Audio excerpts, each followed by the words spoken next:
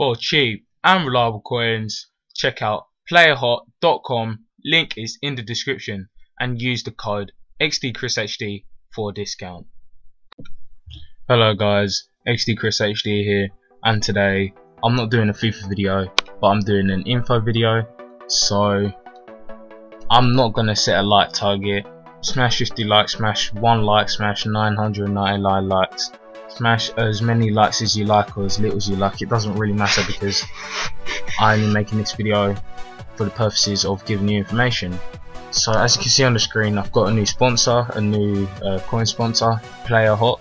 They're sponsoring me for Xbox and iOS coins and they are cheap pretty much the cheapest place to get your coins. I mean it is a competitive market out there but I'm sure you'll find satisfaction by choosing playerhot.com link is in the description and use my code XDChrisHD for 5% discount.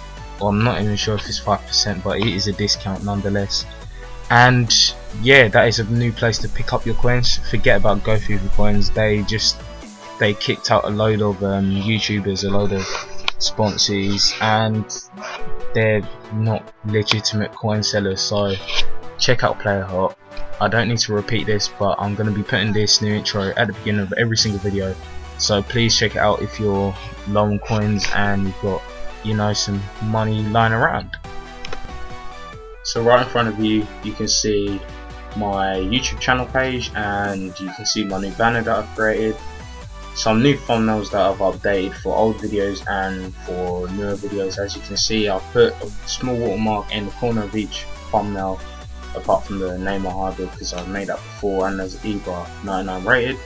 Um, just you know just put my stamp on my thumbnail so no one can use them. Um, I do think they're pretty good myself. They take quite a bit of time and I do make for other people. So if you want some graphics you can just hit me up on Twitter or um, find a way of contacting me and I can make some for you. And I just want to say that I want to hit 4k subs very soon and I'll be unable to make frequent videos because I've got GCSE exams coming up and I really want to do well in them. I don't want to. I don't want to fail any of them. I'm not going to fail any of them, but I really want to get as good as the best possible grade I can get.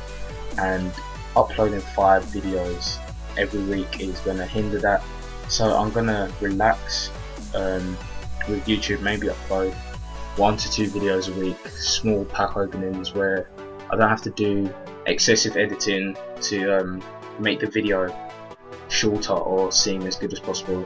So um, that's all the info I have today. I hope guys um, are informed about this channel and what is coming next and I'll aim to go ham on making quality uploads, quality videos after my exams are all done which will be 12th of June so that is pretty much two months under two months and yeah um, see you guys in the next video